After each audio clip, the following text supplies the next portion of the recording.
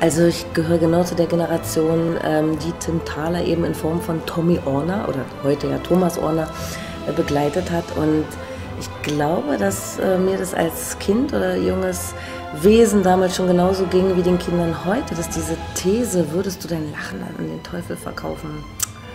Ich glaube, sowas berührt Kinder sehr.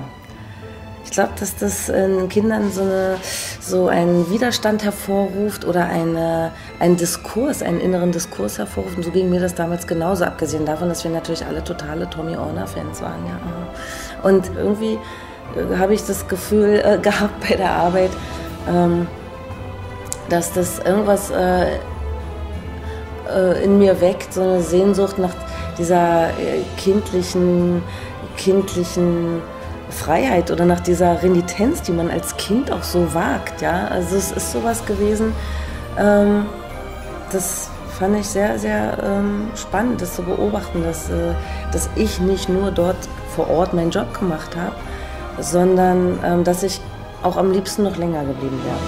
Tim Thaler oder das verkaufte Lachen. Jetzt im Kino.